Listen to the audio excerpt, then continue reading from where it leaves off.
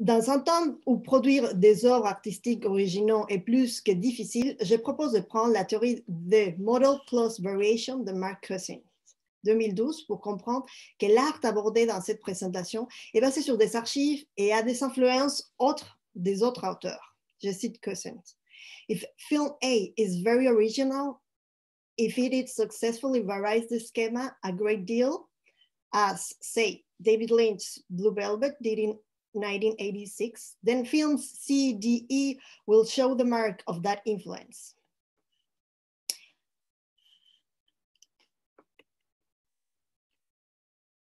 En 2007, tout d'un coup, Google, les moteurs de recherche, va s'intéresser à l'espace physique. Il achète une petite entreprise qui avait créé un système de cartographie et de géologie. Subséquemment, la compagnie lance la fonction Maps et quelques mois après, les Street View. Ils ont ouvert un bureau géographique dirigé par l'ancien patron de l'entreprise cartographique et ainsi ont consolidé son hégémonie. Actuellement, cet empire de la surveillance est à la tête des GAFA, Google, Apple, Facebook, Amazon. Je cite Olivia Solin. Il surveille parce que c'est un moteur de recherche. Et il surveille parce que ce moteur de recherche est géolocalisé. Et maintenant, nos téléphones sont géolocalisés. Donc, il peut géolocaliser toutes les données qu'il a. Souvent, il vend les données. C'est des vendeurs de données ainsi que des vendeurs de tapis. Les premières captures de Google Street View se remontent à mai 2007 dans les rues des villes californiennes. Il, il s'agit d'une interface de photographie panoramique prise au niveau de rez-de-chaussée qui fait des captures en 360 degrés à la ligne de l'horizon par 220 degrés en hauteur. Il permet d'avoir les contextes de la carte pour se déplacer simultanément. Street capture les images avec un dispositif de neuf caméras attachées sur les toits des voitures, des tricycles, des motoneiges ou des supports pour les épaules, qui intègre également un scanner de longue distance et un appareil GPS. Finalement, il se sert de logiciels comme Ajax et Flash pour la conformation animée. Les résultats, ce sont des millions de photographies panoramiques prises de manière automatique qui ramassent des données massives, mais qui sont prises paradoxalement par une machine aveugle. Voilà donc l'image algorithme. Ici, dans la carte, vous voyez que la plupart du monde est, déjà cartographié, sauf des, pays euh, qui ont frontalement une position politique euh, différente de la vision américaine. Dans cette archive infinie qu'est Street View, les artistes naviguent depuis leur foyer. Ils sont des flâneurs du virtuel. Ces promenades nous amènent dans les rues de plusieurs pays du monde. Les vues qu'ils sélectionnent sont associées à la subjectivité créative du photographe. Ils ont développé leur propre protocole de reconstruction d'images. Ils sélectionnent les images rares, les événements malheureux, la savent. Ils prendront une photo de leur moniteur, parfois avec la caméra sur, les, sur une trépied, et dans d'autres cas, simplement en faisant des captures d'écran. Ensuite, ils traitent l'image avec différentes stratégies. Au ces artistes sont des parasites collés sur la machine Google. Ils se nourrissent de la machine. Mais ces artistes sont aussi des machines de signification complexe. Ils sont des regards humains qui se superposent à un regard mécanique qu'aucun programme d'intelligence artificielle est encore capable d'élaborer un discours visuel tel que ces artistes. C'est ça la paradoxe, les paradoxes. On peut donc se demander qu'est-ce que c'est que Wolf et d'autres vont aller chercher, qu'est-ce que c'est qu'ils vont nous dire de plus que l'image elle-même? Dans un continuum de la cartographie, ils font des opérations de sélection, sélection avec majuscule. Après, ils vont détourner, améliorer, trafiquer et mettre du grain dans l'image. Mais prioritairement, ils vont se déplacer sur la continuité de la banque des données euh, de Google. Ils trouvent des emplacements et vont sélectionner certains points de vue. Quelle est la signification de cette sélection? Elle réduit le travail artistique à sa opération la plus simple. Donc, on confirme. Aussi faire de l'art, c'est pas fabriquer des objets, mais les sélectionner. L'artiste, il dit, voici un extrait d'archives, une archive qui est infinie. C'est ça l'intérêt de la production de cette offre, d'où l'analogie entre artiste contemporain et data miner.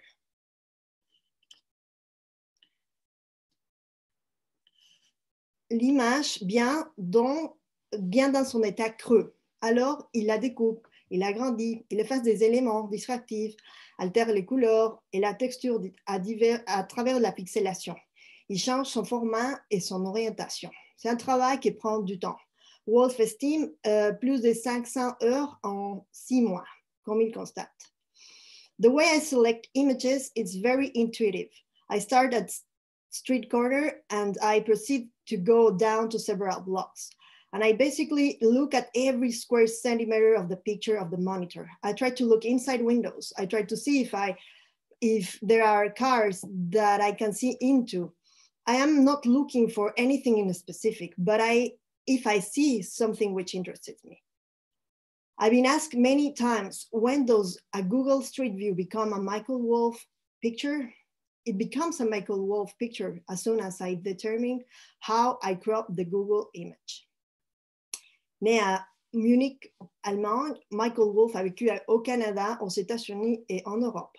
Il se spécialise en photographie de la vie quotidienne, de la culture dans des mégapoles. Wolf a reçu plusieurs prix durant sa carrière, comme à la Biennale de l'architecture de Venise et deux fois les World Press. Ses œuvres ont connu des musées et des galeries prestigieuses du monde. Dans ses photographies, est aussi facile de reconnaître des hommages à des autres artistes et cinéastes. Et ici, à l'image, euh, par exemple, Robert Doisneau, euh, dans l'écran, mais aussi à Hitchcock, Bertov et d'autres.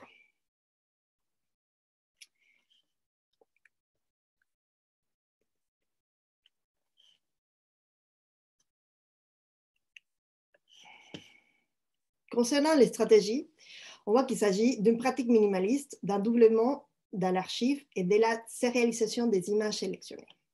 Quant à sa circulation, on suivit une stratégie transmédia. Premièrement, publié dans des livres en grand format et exposé dans des galeries d'art et des musées, pour finalement être accessible en ligne sur les sites web des artistes.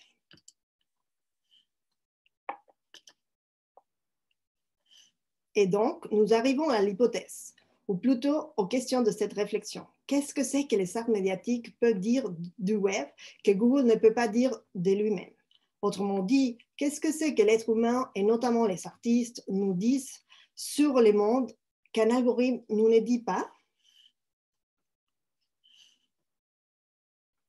Cette pratique qui, constate, consiste simplement à récapturer a une double, double fonction, d'un côté critique et d'autre réflexive.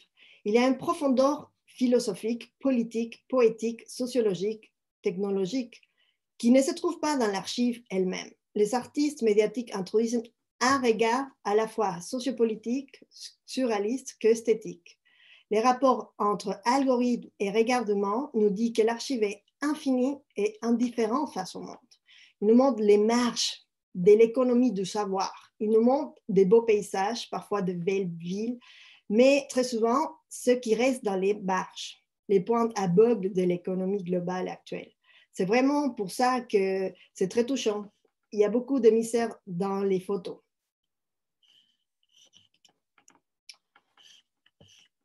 Les séries qui contiennent des, les, séries contiennent des éléments de studium et de punctum en termes de Vart 1980. Car certains, d'entre elles nous apprennent des choses sur le monde. Elles ont un intérêt plutôt éducatif, mais tout d'un coup, il y a une photo qui nous frappe on ne sait pas pourquoi et la personne de la photo nous parle, bien nous piquer, comme des images de faits divers. Euh, nous, avons un callback de chien, un mort sur les trottoirs, des choses apparemment sans signification sociopolitique, juste un petit drame familial, un vol qui a mal tourné. Ici, la définition de série proposée par Gaudreau et Marion en 2019 est adéquate. Une série c'est une suite d'éléments liés entre eux, mais ayant chacun leur singularité. Ces séries peuvent être classées en plusieurs thématiques. L'espace public, l'interface, la misère, l'image cliché, le surréalisme, divers, etc. Les projets Street View de Michael Wolff se conforment par 192 images courées en sept groupes. A Series of Unfortunate Events, Paris, Eiffel Tower, Manhattan, FU, Portraits et Interface. Aucune des photos a un titre particulier, juste des codes comme Interface 1, 2 ou, s'il vous plaît, 1345. Maintenant, allons dans les sites web de l'artiste pour explorer les projets.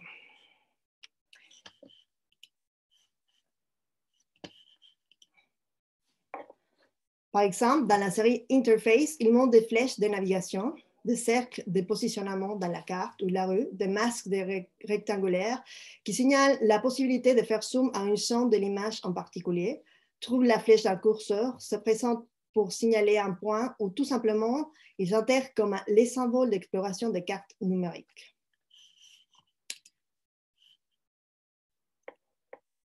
Comme son nom l'indique, FU montre l'expression des gens pas contents d'être enregistrés par les dispositifs. Il regarde directement les caméras, il se déplace dans des, autres voitures, vélos ou motos, ou bien ils attendent le feu vert. Ils peuvent être aussi sur des terrasses de café. Il y a même un petit chien qui lève sa patte contre le mur et fait partie de la collection avec humeur.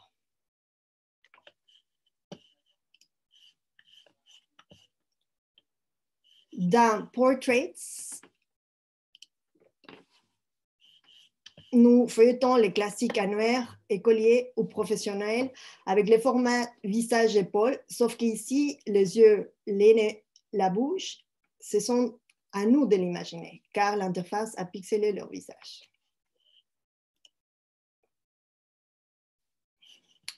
Manhattan et Paris, et Paris et nous sommes des rues comme des parfaits décors de cinéma et sont les statues de villes les plus photographiées de la planète.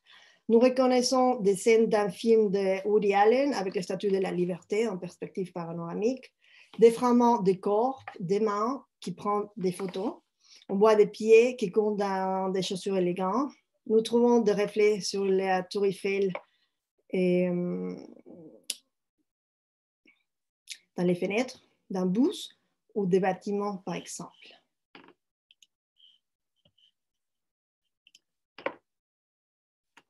À Paris, il nous présente des couples amoureux, des gens stressés ou celles qui prennent une pause cigarette.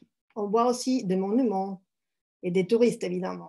Inclusivement, on trouve un hommage de Bessier de Robert Doinon. On témoigne la prostitution dans les boîtes de Boulogne à plein euh, jour, avec des personnages qui pourraient venir d'un film de Claire Denis ou de Léo Cara.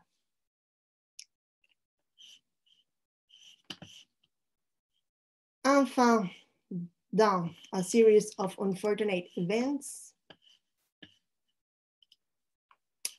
la collection qui présente des instantanés avec plein d'humour et surréalisme, unique et impertinente. On y voit ici 35 images qui dialoguent entre elles, parfaitement poser, comme dans les montages d'un film. Elles nous racontent des histoires, des joies, des surprises, des suspens, d'actions, d'érotisme.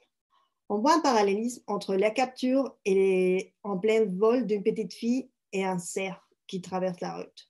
Ensuite, nous témoignons les moments proches à la mort euh, avec un monsieur allongé dans la rue et un couple de personnes, des personnes âgées qui se trouvent à l'extérieur de leur maison. La dame a souffert d'une attaque euh, qui l'a mise à terre, mais le monsieur fixe la rue de sa bicyclette les three shots nous amènent dans les conflits de trois enfants et sur les baissiers entre deux personnes, tandis qu'une d'elles tient la main d'un troisième.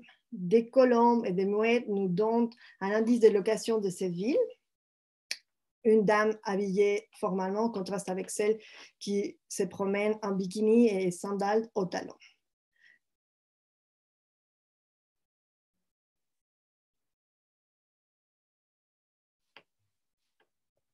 La nudité apparaît dans les photogrammes qui présentent des femmes. Après tout, l'ère du numérique n'a pas fait une véritable révolution. On voit une dame qui urine à l'arrière d'une voiture pour passer inaperçue et une autre qui est complètement perdue. On ne sait même pas si elle est encore vivante.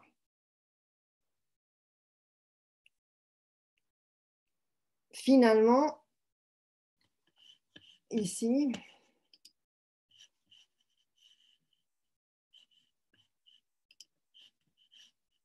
vous voyez à l'écran une femme face à la mer. On apprécie que son, que son dos pendant qu'elle regarde l'horizon. Elle pourrait être un photogramme d'un film de Marguerite.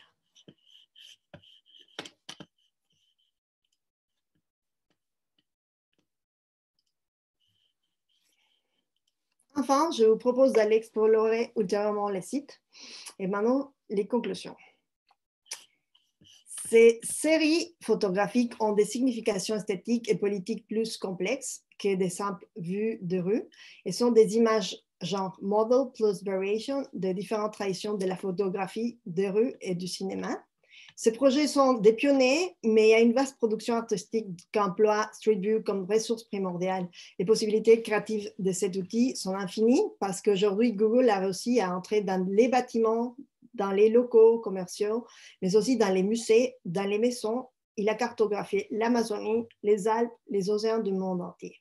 Ces images possèdent un potentiel pour les dédoubler et en récits littéraires, cinématographiques, interactifs et autres. Récemment, nos compétences humaines ont tendance à se remplacer par des fonctions de machine learning, mais dans ces paysages dystopiques, nous restons critiques par la neutralité de ces dispositifs. Ici, je vous partage une petite bibliographie. Et voilà, merci. Je vous laisse mes coordonnées. Merci beaucoup. Merci beaucoup, Katia. Très intéressant cette reprise d'une nouvelle technologie à des fins créatives. Euh, j'ai trouvé un peu de voyeurisme dans la chose, un peu prendre ce qu'une machine a pris. Puis euh, là, je suis un peu euh, en duel entre est-ce que la machine est objective parce qu'elle prend un peu de tout, elle est froide. Je suis comme un peu titillé entre les deux, mais très belle présentation. Donc, j'invite Clara Biche, qui va être notre dernière conférencière de la journée à présenter. je vous invite à ouvrir microphone et caméra qui est déjà faite. Vous avez 20 minutes. Merci. Alors, je vais essayer de partager mon écran. Euh, Est-ce que si je fais ça, c'est bon Vous pouvez voir l'écran? Oui, tout semble beau. Super. Euh, parfait. Euh, donc moi, c'est Clara Biche. Euh, voilà, j'ai fait ma maîtrise à l'Université de Montréal entre 2015 et 2018. depuis, je travaille au théâtre aux Écuries. je tiens à remercier le colloque Arts et Médias de l'Université de Montréal pour cette parfaite invitation pour ce colloque sur l'espace. Donc, moi, je vais vous présenter Festen lorsque la performance filmique construit un espace polyphonique des espaces. donc, euh, en 1998 sort Festen, prix du jury à Cannes, qui est le deuxième film du réalisateur danois Thomas Winterberg. Il faut savoir que Festen est le premier film labellisé par le dogme 1995. Donc le dogme 95, pour ceux qui ne le, maîtrisent pas, est un manifeste prônant une sobriété du cinéma où les artifices visuels, sonores et de traitement de l'espace sont interdits. Il a dix règles euh, que nous allons voir rapidement. Euh, le tournage doit être fait sur place. Les accessoires et décors ne doivent pas être apportés.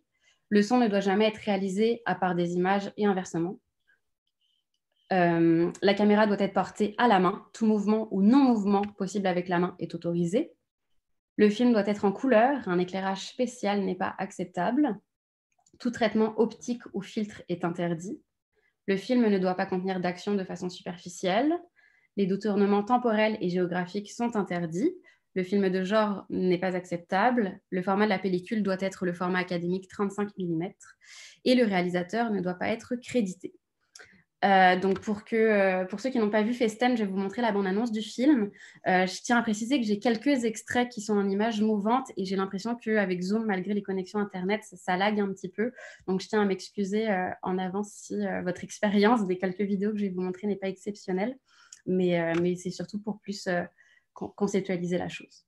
Donc voilà, Festen de Winterberg.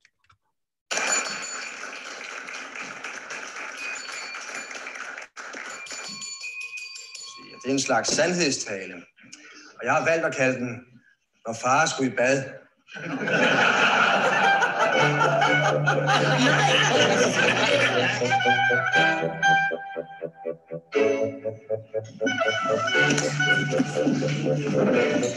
Jeg må forestille en rygepause. Hvor langt ude du er, mand! Ved du, hvad jeg gør? Jeg. Ved du, hvad gør? Hvor meget du er, Christian? Hvor langt ude du er? Lad os sætte os lever. Skål! Det har jeg også. Ja, de der, der taler om det, kan jeg slet ikke huske, du er var hjælper, Christian. Hvad var det, der skete? Du er fuldstændig lige så hovedet som din far.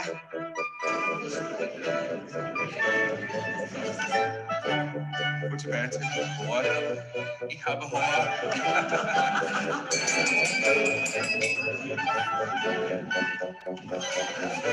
Så kan jeg få lov til at fat. Det er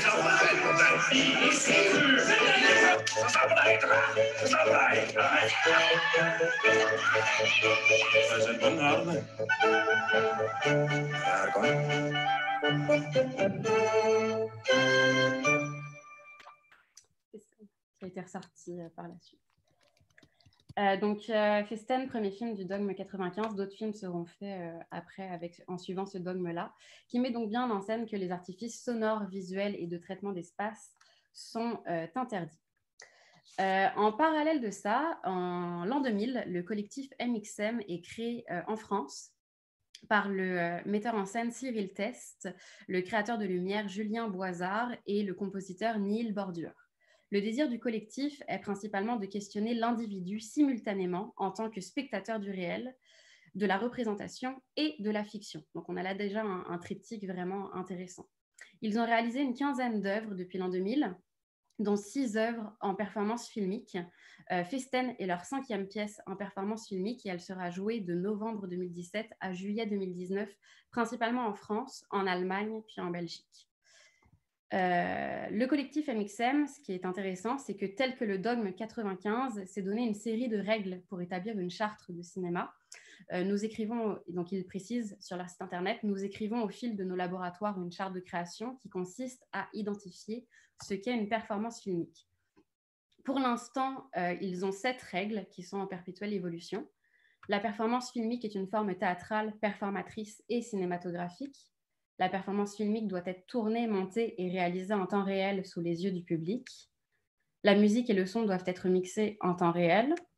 La performance filmique peut se tourner en décor naturel ou sur un plateau de théâtre de tournage. La performance filmique doit être issue d'un texte théâtral ou d'une adaptation libre d'un texte théâtral.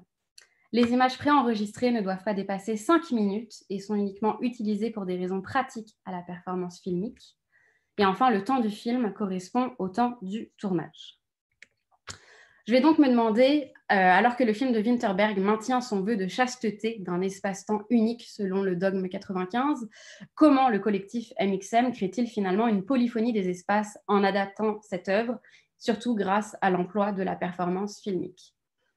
Euh, Avant de rentrer dans le vif du sujet, je vais vous montrer un extrait de la bande-annonce du spectacle Festen, à savoir que cet extrait est issu de la performance filmique qui est faite en direct sur scène. Christian, C'est toi qui joues de la musique. Je joue plus de musique, Christian.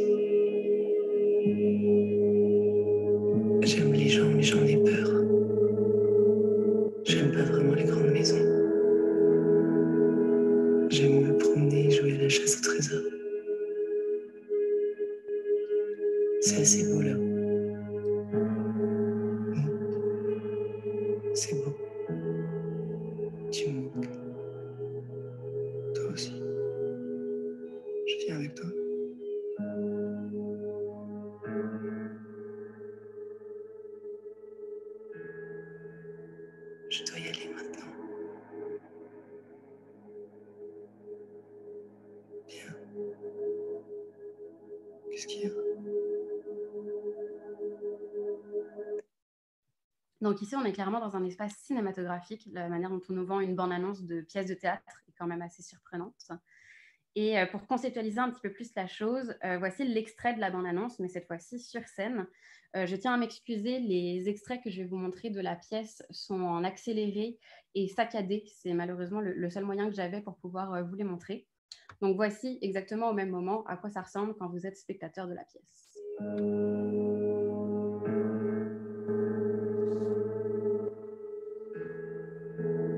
Je dois y aller maintenant.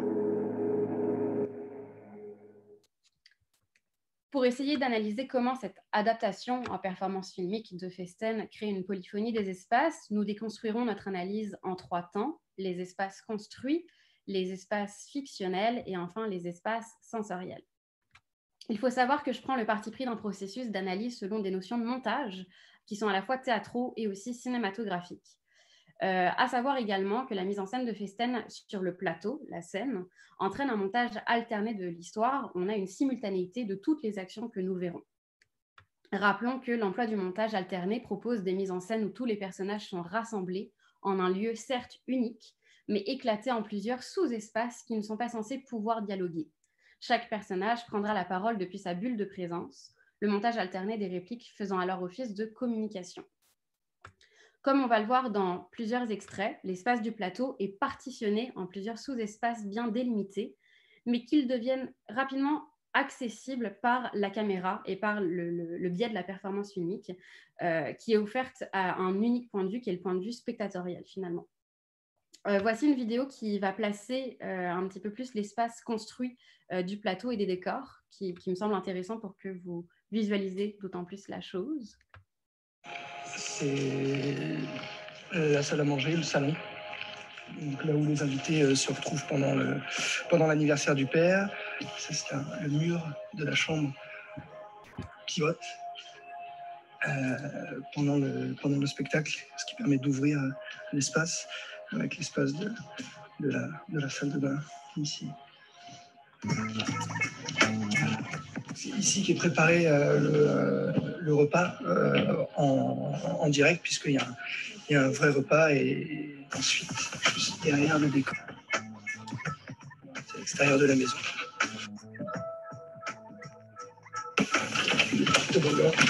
Qui nous permet de descendre assez vite une fois qu'on a monté l'escalier de la maison.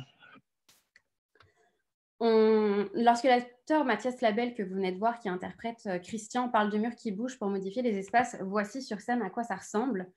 Euh, on peut voir sur la gauche donc que le mur est modifié et que la salle de bain est en live sur scène pendant la pièce, transformée pour devenir une chambre. On a donc bel et bien ici un espace construit en différents sous-espaces où les personnages ont chacun leur bulle de présence alors que tous les sous-espaces sont regroupés sur la même et unique scène, un espace unique, nous avons donc en parallèle une unicité. Néanmoins, l'éclatement des sous-espaces se fait aussi euh, sur la scène et dans le hors-scène, comme on a pu le voir. Euh, et grâce au cinéma et à la performance filmique, tout ça va être additionné ensemble pour le point de vue spectatoriel.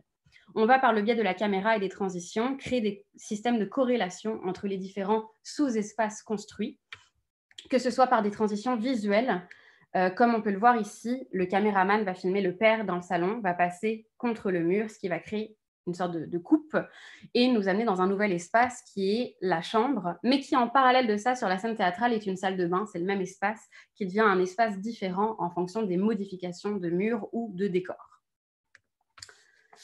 Euh, il faut savoir également que Cyril Test euh, joue avec le son tout au long de sa pièce, avec euh, les micros qui vont être allumés et éteints, les micros des personnages, les micros de la caméra, ou un mix donc, qui est toujours fait en temps réel comme il le stipule dans ses, ses, règles à lui. et qu'en plus de ça, les matériaux sonores viennent générer l'illusion des espaces. Les techniques du son donnent des points d'ancrage crédibles au monde fictif pluriel, éclatés parfois impossibles. L'amplification sonore contribue aussi à rendre poreuses les frontières du dedans et du dehors. Donc on va voir comment cet effet également de, traitement sonore en fait peut créer différents espaces.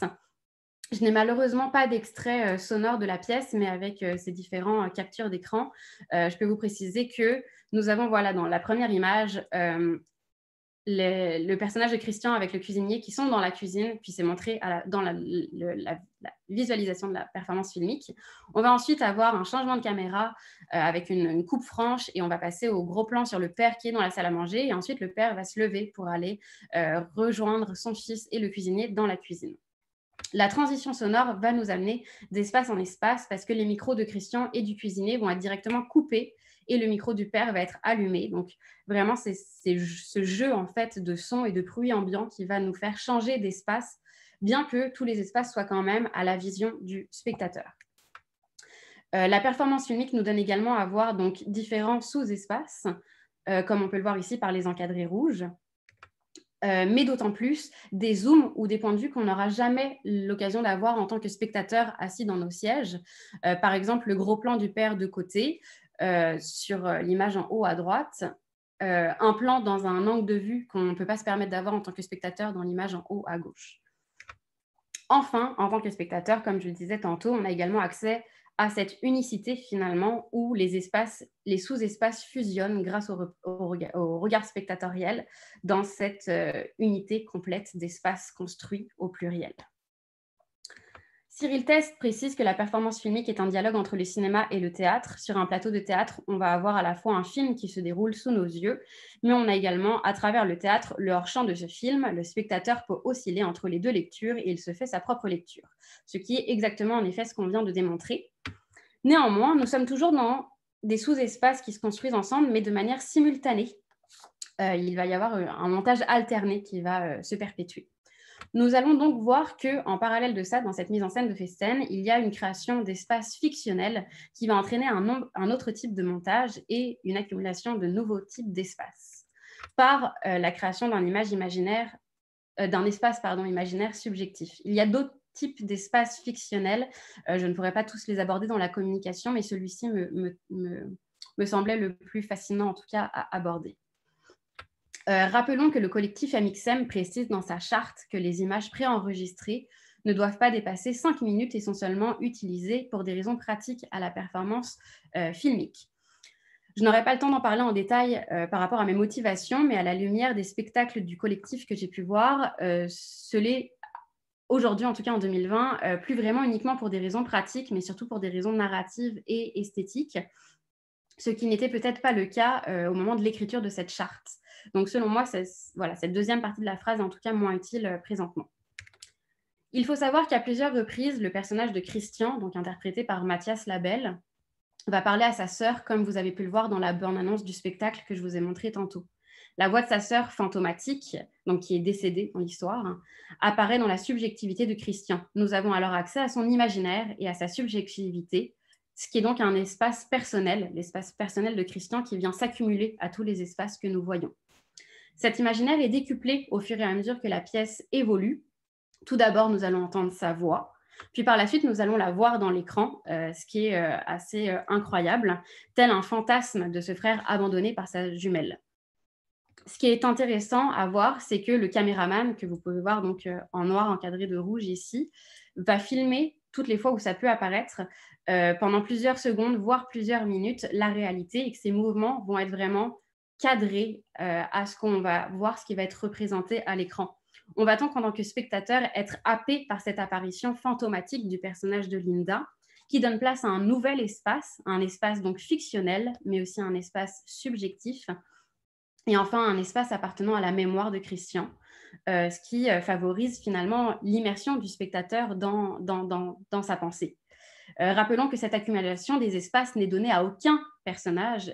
On est donc, nous, en tant que spectateurs, en position privilégiée. On devient presque acteur de cette expérience de constellation des espaces finalement qui viennent s'additionner en face de nos yeux. Jusqu'alors, la performance filmique nous donnait à avoir un montage alterné, mais avec l'arrivée euh, des séquences où Linda apparaît à l'écran, on va faire face à un montage, à un montage parallèle des espaces sans simultanéité, mais avec un rapport de thématique. Ici, un autre exemple, lorsque Linda apparaît à l'écran, on peut donc voir le caméraman suivre euh, Christian. Puis là, voilà, tout ce que vous voyez est faux en fait, parce que Linda est au piano, mais sur la scène de théâtre, Linda n'est pas au piano. Euh, ces séquences entre un plateau au présent et une caméra qui représente l'imaginaire, possiblement le passé, le souvenir de Christian, sont additionnées par le processus de la performance filmique qui s'installe ici comme une suture. Oudard introduit ce terme qui sera ensuite repris par Godin. La suture peut être décrite comme le processus par lequel le manque induit dans le plan A est aboli dans le plan B, qui vient recoudre le tissu de l'espace filmique. Godin précise le mécanisme de suture met en lumière le processus d'homogénéisation de l'espace.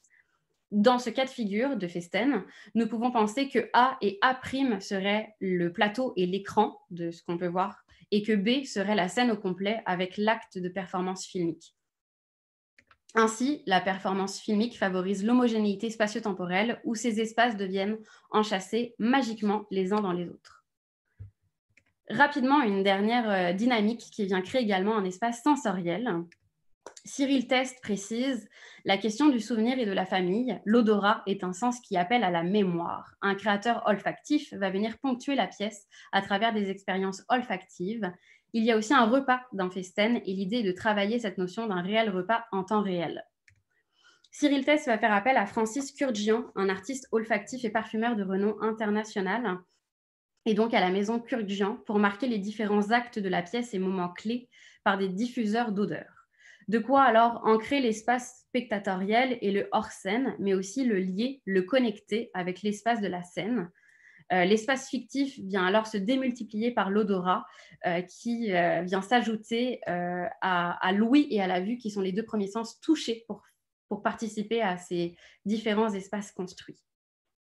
À cela s'ajoute également un, repas qui viendra toucher quelques chanceux spectateurs qui participeront au spectacle, qui monteront sur scène avec les acteurs tout au long de la pièce. Pour eux, le goût sera alors mis en avant, une fois de plus, comme un désir de porosité des espaces, fictifs et réels, spectatoriels et actoriels, scéniques et écraniques, euh, pour s'immerger finalement au cœur même de la pièce. Pour conclure, Bakhtin précise que les éléments incompatibles sont répartis en plusieurs mondes et entre plusieurs consciences autonomes. Ils représentent non pas un point de vue unique, mais plusieurs points de vue entiers et autonomes. Et ce ne sont pas directement les matériaux, mais les différents mondes, consciences et points de vue qui s'associent en une unité supérieure. La catégorie essentielle de la polyphonie n'est pas le devenir, mais la coexistence et l'interaction. Ici, dans Festen, les éléments sont divisés en plusieurs sous-espaces, en plusieurs dispositifs, en plusieurs sens. Ils ont chacun leur autonomie. Néanmoins, ils s'associent tous ensemble grâce à la performance filmique pour créer une unité supérieure et unique, car tous ces sous-éléments et ces sous-espaces coexistent et interagissent ensemble. Il y a donc une polyphonie des espaces. Ainsi, on peut donc conclure que dans cette adaptation en performance filmique de Festen de Cyril Test et du collectif MXM, euh, ils mettent en avant trois types d'espaces qu'on peut même subdiviser en plusieurs sous-espaces. Et ces sous-espaces prennent place dans un espace global unique. Il y a ainsi coexistence et interaction de différents points de vue, de différents espaces, ce qui va entraîner une polyphonie. Et tout ça dans le but, selon moi, d'immerger davantage le spectateur. Voilà. Merci beaucoup, Clara. Je demanderai à Katia de nous rejoindre et André qui est déjà là pour la période de questions. Peut-être des petits euh, commentaires euh, techniques avant de débuter. Si vous avez des questions textuelles à poser à nos panélistes, vous pouvez le faire avec la, la section, désolé, QA euh, dans le bas de l'écran. Et si vous avez une question que vous voulez dire à l'oral, vous avez la fonction lever la main. On va vous donner euh, la possibilité de répondre verbalement euh, à nos panélistes. Et également, peut-être une petite invitation euh, rapide, je vais répéter après la période de questions, mais on a une discussion joviale qui va se tenir par la suite. Vous allez tous avoir la possibilité d'ouvrir vos microphones et vos caméras. Donc, ça va être le moment de vraiment converser tous ensemble. Vous êtes actuellement une dizaine de connectés, donc euh, ça, serait le bon moment si vous avez de plus amples questions. Donc, euh, André, je, te, je vous laisse la parole. Bienvenue à cette discussion euh, austère qui va précéder la discussion joviale. C'est pas ça. On va essayer de rendre ça un petit peu jovial, nous aussi. C'est pas juste à 16 heures qu'on va devenir jovial. Je pense qu'il y a toutes les raisons de l'être. On est vendredi après-midi, après tout. merci aux deux panélistes que j'ai eu le bonheur à qui j'ai eu le bonheur euh, d'enseigner ces dernières années. Ça fait très plaisir de vous voir toutes grandes. Euh, J'aurais alors plein de questions.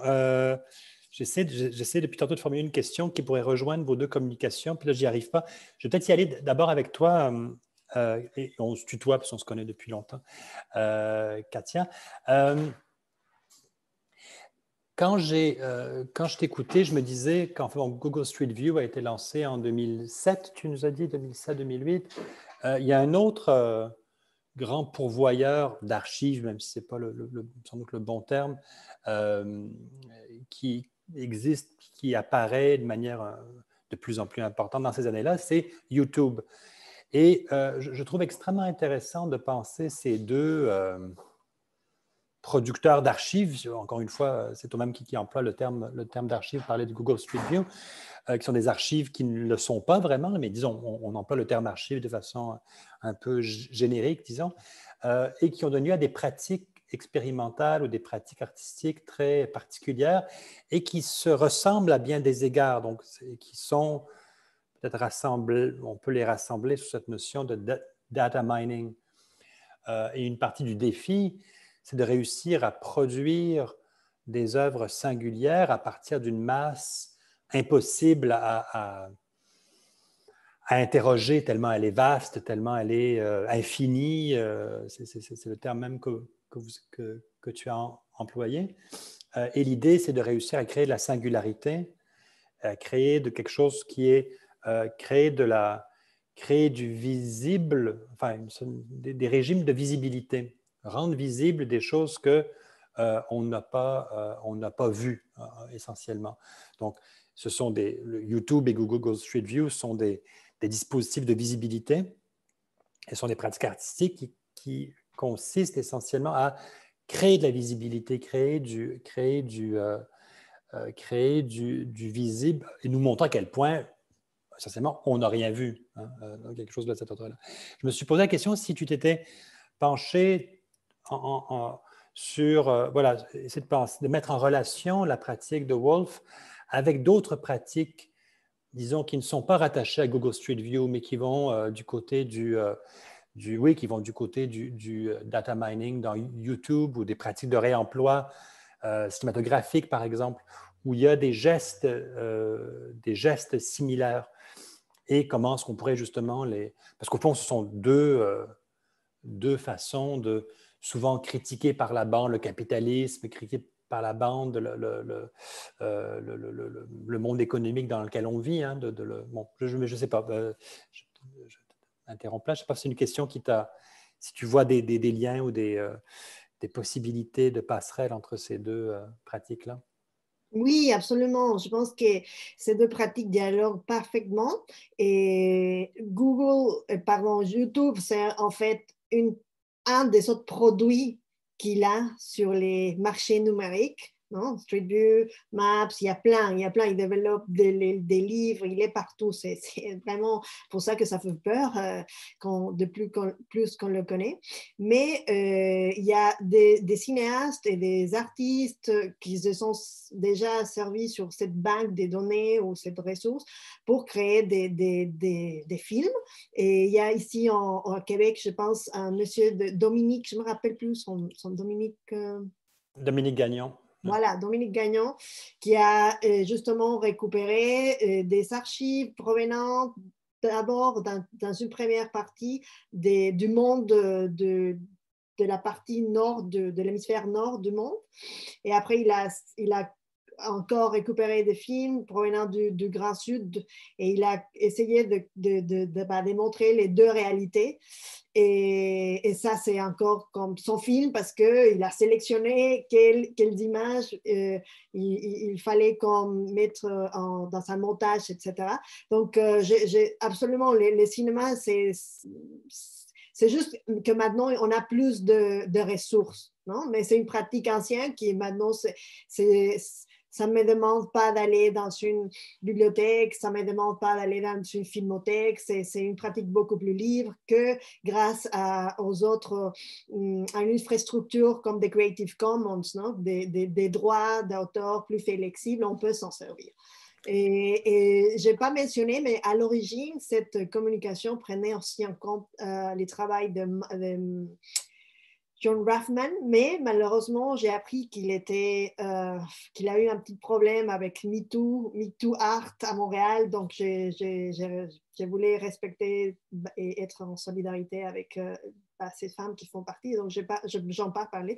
Mais il y a plusieurs artistes que reprendre et, et, c'est super intéressant parce qu'en fait, avec les mêmes archives, avec les mêmes images, on a des différents regards, complètement. C'est des différents discours, des différents découpages des images qui parlent différemment.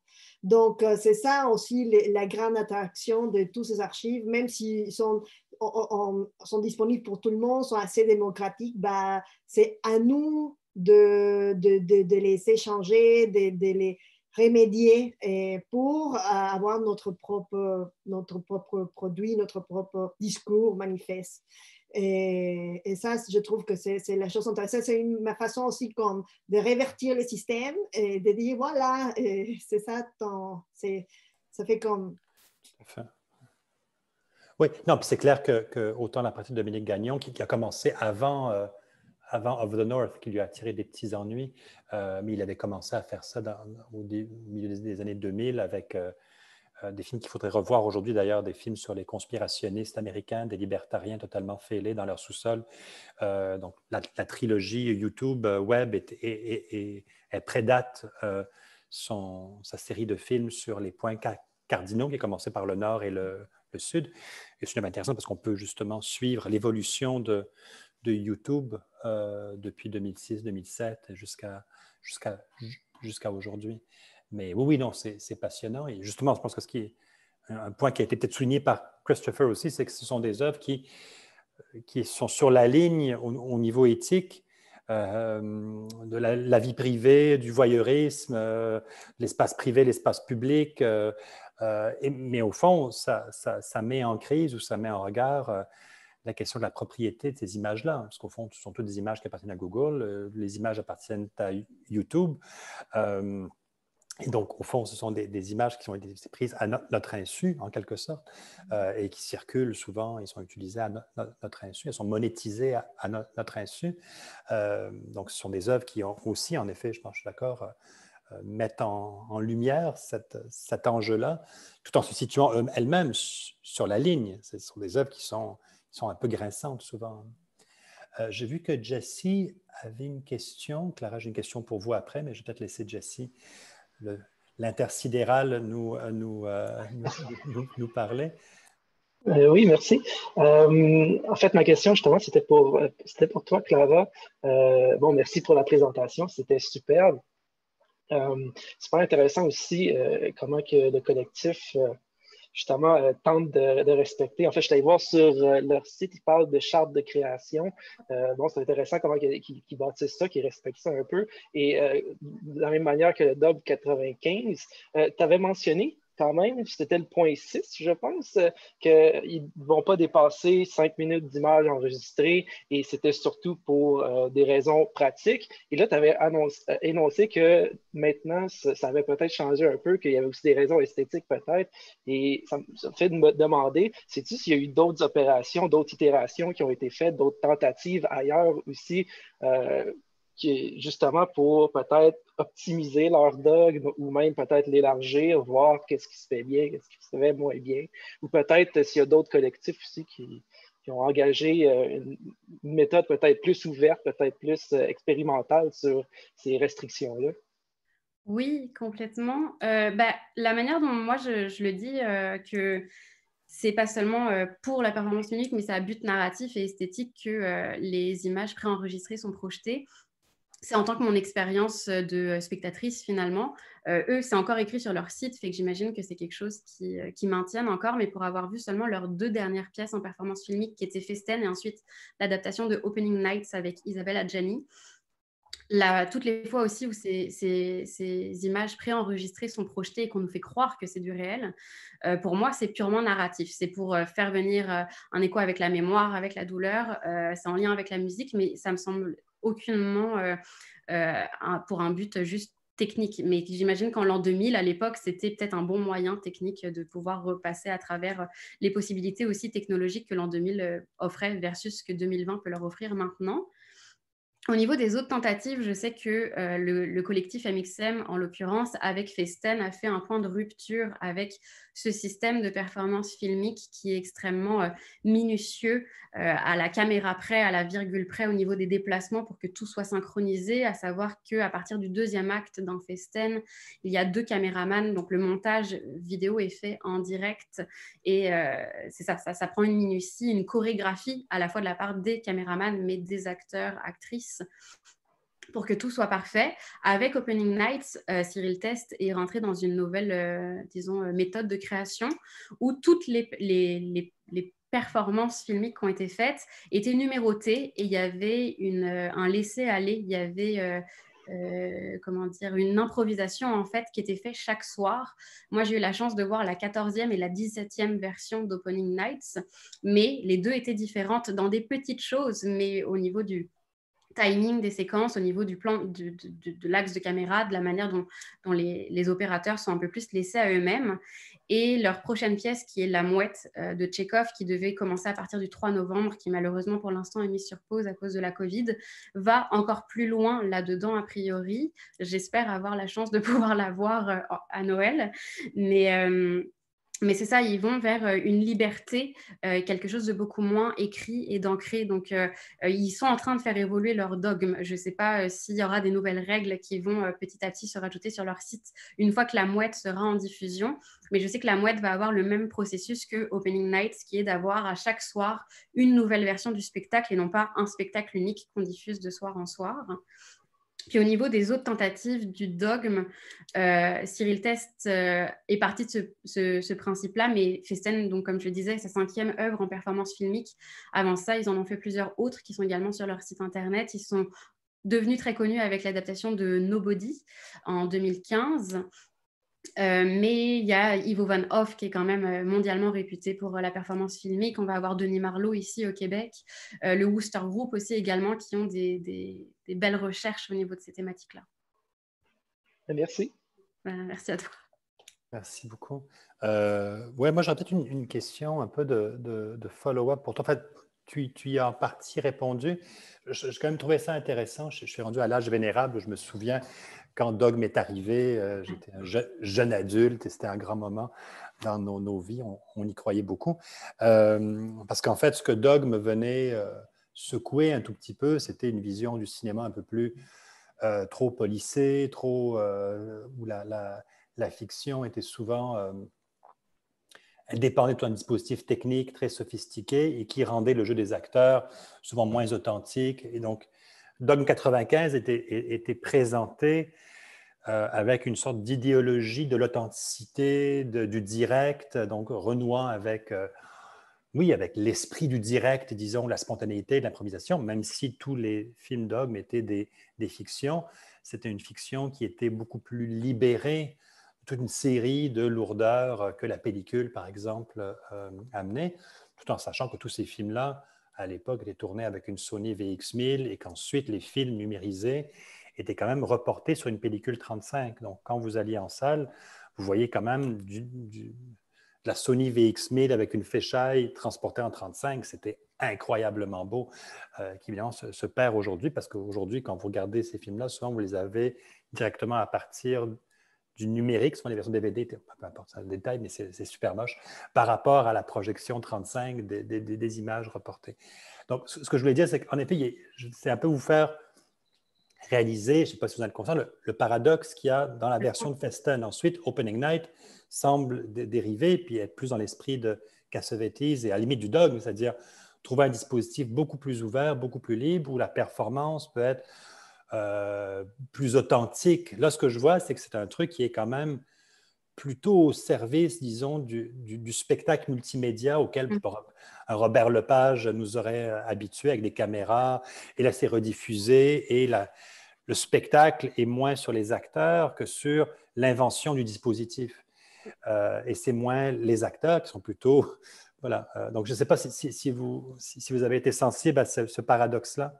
Oui, je suis, je suis amplement d'accord et c'est vrai que euh, j'ai trouvé ça étonnant que souvent pendant la promotion, en tout cas de Festen, comme c'était adapté de Winterberg, le dogme revenait, puis ils avaient leurs règles, leurs dogmes, etc. Alors que en effet, la, pièce de théâtre est ce qui se rapporte le plus, je pense, d'un film millimétré hollywoodien. Il n'y a aucune liberté dans ce qui est fait, que ce soit pour les acteurs, pour les mixeurs son, pour les caméramans. Donc, en effet, cette euh, ben, comme opposition-là est assez intéressante. Puis, euh, le collectif MXM y revient depuis 2018 avec, c'est Opening Nights, La Mouette, qui, selon ce que j'ai pu lire en entrevue, va encore plus vers cette euh, liberté finalement qui est donnée à toute l'équipe, à tout le collectif pour avoir une sorte d'essence de, ce que peut apporter la performance unique.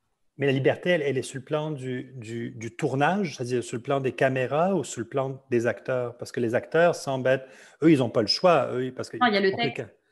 C'est ça, il y a le texte qui est là, qui sert comme, comme une espèce de... Bah, le texte reste présent. Après, ils sont, euh, par rapport à Festen, vraiment la, la, fracture Opening Night, c'est ce qui s'ensuit, la mouette et autres. Je sais qu'il y a une liberté au niveau des, des, mouvements. Il y, aura, il y a sûrement des, des comment dire, des, précisions par rapport aux, scènes de voilà, là, il faut que ça se passe peut-être possiblement ici, possiblement ici, mais il va y avoir une liberté euh, de, des mouvements, une liberté d'alternance aussi du montage. Quelle caméra va prendre quelle caméra, quelle caméra va être projetée ce soir euh, au niveau de l'alternance euh, du, montage live. Il faudrait que j'aille voir la mouette. Opening Night, en tout cas, c'était c'était ça. Je sais qu'il y a aussi plus une un travail avec Opening Nights qui peut-être serait analysé, qui rejoint ça, c'est qu'Opening Nights, quelques séquences se jouaient en hors scène, donc vraiment derrière qui était filmé. Exactement. Puis la mouette, a priori, ça a l'air qu'on est dans 100% des séquences qui sont filmées en arrière de la scène. Hmm. Donc, euh, à voir quelle est aussi l'évolution de ce traitement, que la performance unique vient réellement apporter un hors-cadre officiel de ce qui va être sur hmm. scène. Hmm. On, s'oriente un peu dans cette veine-là, ça a l'air avec le collectif MXM. Mais ce que je voulais seulement dire, c'est qu'il y a quand même une très, très, très longue tradition de caméras sur les écrans. Moi, je me souviens du show de Robert Lepage, son one-man show de Hamlet, où il jouait tous les rôles et la caméra jouait un rôle extrêmement important. Il y avait des scènes C'est comme 95 ou 96. Oh oui, c'est super vieux comme truc. Mais ce que, je, ce, que, je, trouve intéressant, c'est qu'on revendique quelque chose qui est live, euh, performance, presque une sorte de work in progress. Et en même temps, c'est quand même très, très, très loin de on n'est pas dans le living theater, quoi. On n'est on pas dans une, logique d'un truc hyper éclaté euh, euh, où euh, on fait sauter tous les murs, on fait sauter le quatrième mur et le public est impliqué. Donc, on n'est pas dans cette logique, on est plutôt dans un truc quand même super huilé. et même s'il y a un peu d'ouverture d'improvisation, c'est quand même je sais pas, je, trouve ça intéressant qu'il y ait d'une part cette revendication d'une super liberté, et en même temps le dispositif technique est quand même tellement lourd au final que la performance des acteurs, elle est quand même euh, dans un corset. Quoi. Euh, oui, il y a un carcan là-dessus, c'est sûr. Oui, tout à fait. Mais, c'est hyper intéressant. Je, suis très, très intéressé par la, la, démarche. Euh, il y a une question. Alors, Christophe Sabat, je, je l'ai sous, les yeux. Il y avait une question dans, dans le, dans, dans le QA. Tu peux la relayer ou. je peux la mettre dans Answer Live. Ouais mais, je peux la, poser directement. Donc, en fait, la, question. Oui, exact. Juste lire la question pour nos panélistes. Euh, c'est une question pour Katia.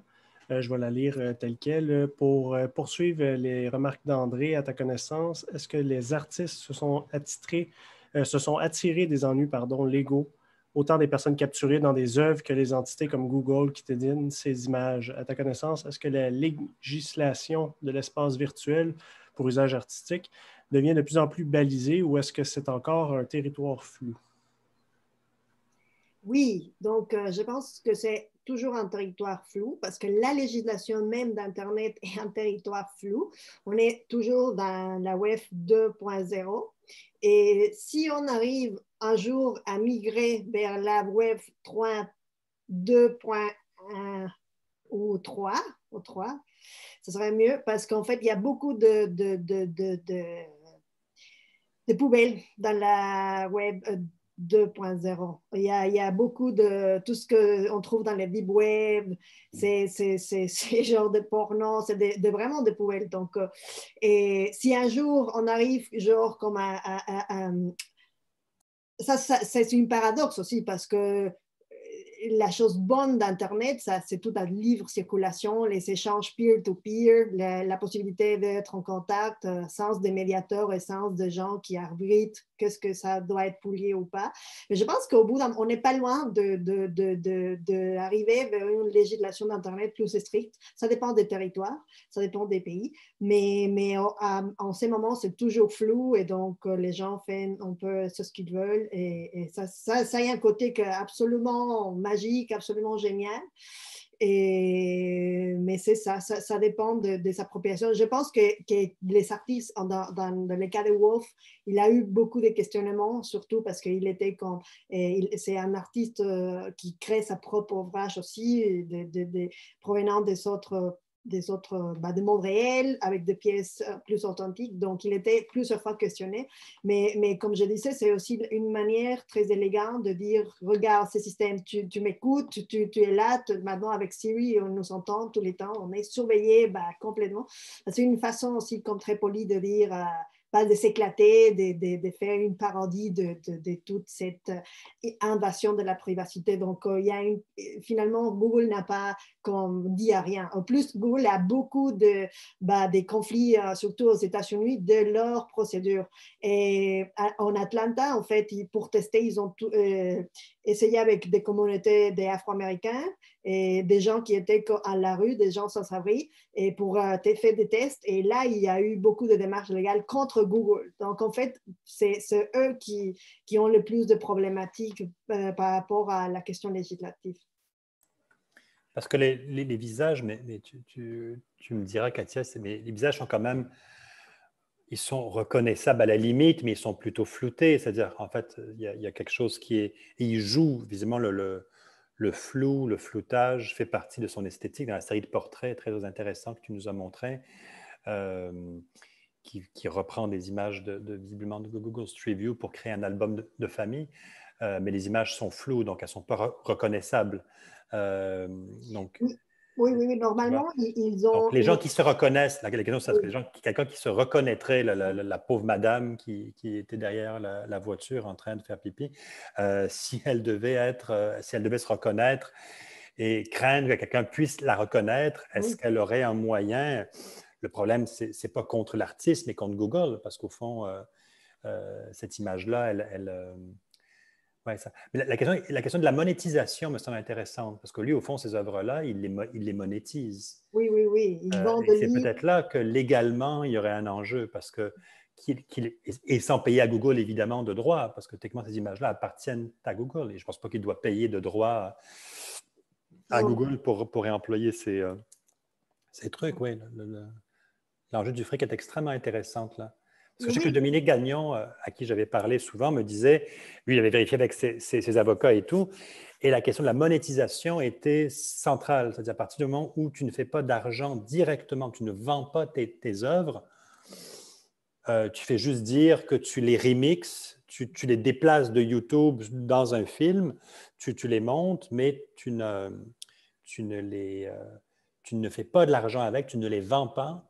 Et donc, légalement, tu peux t'en tirer. La ligne est mince, mais tu peux t'en tirer. Et les gens qui ne seraient pas contents, par exemple, ne pourraient rien faire et rien dire contre toi. Ça n'a pas empêché euh, tout le bordel d'arriver. De, de, Il y a mes enfants qui arrivent, donc ça risque de faire du bruit, je vous avertis. Oui.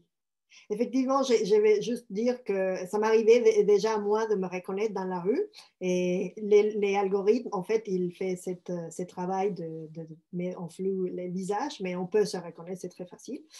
Et, donc, oui, cette limite ou cette frontière entre la question légale, l'appropriation, c'est très flou.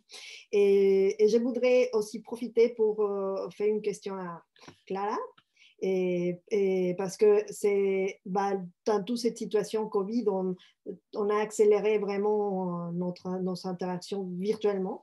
Et donc, je me demande euh, si peut-être bientôt tous les, théâtres et tous ces spectacles euh, euh, vont être plutôt bah, transmis vers, vers, les virtuels, non? Bah, dans nos deux exemples, on parle des, situations où les artistes doivent être et restent à la maison et, on peut ou dans, enfermer dans un plateau et puis pour produire certaines parties de l'ouvrage.